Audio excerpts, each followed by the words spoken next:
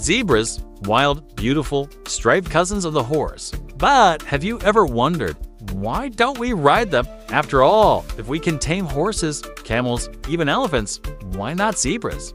Turns out, humans did try, and it went horribly wrong. To be rideable, animals need to be domesticated, bred for calmness and cooperation over thousands of years. Horses evolved alongside humans. Zebras didn't. Every zebra alive today is still 100% wild. Early explorers tried to train them. Most ended up bitten, kicked, or thrown off in seconds. Zebras are mean. Seriously. They bite harder than horses, kick faster, and never forget a grudge. In the African wild, that aggression keeps them alive. But in a stable, it's chaos. Imagine trying to saddle up something that hates being touched. Yeah, no thanks.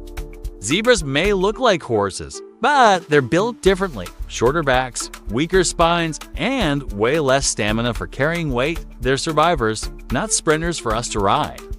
So while horses became our companions, zebras stayed wild, untamed, and gloriously free, exactly how nature made them. So next time you see those stripes, remember, they're not failed horses, they're proof that some creatures were never meant to be tamed.